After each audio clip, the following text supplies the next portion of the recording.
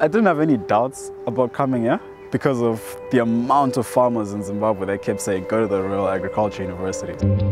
Not only have I met really fantastic friends, but I feel like I've made some good contacts here.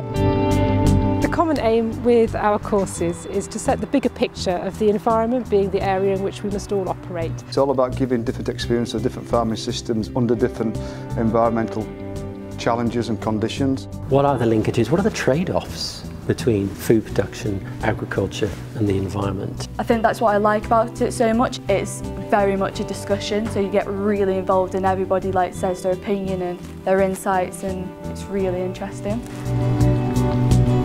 The style of teaching here is a real blend of academic, applied and practical. We actively encourage students from a farming background, but we also actively encourage students from a non-farming background.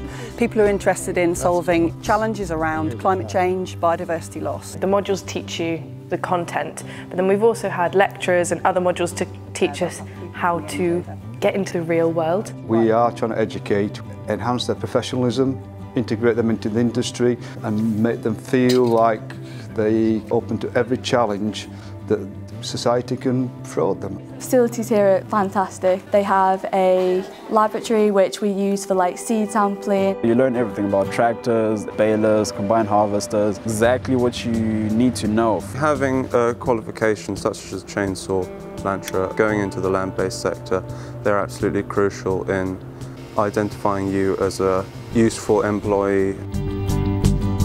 After university, it's a firm plan to use what I've learned here to do a great job of farming. What I love is it's that every day is different. You don't sit down in a lecture hall every single day and learn about the same thing. Each module is so different.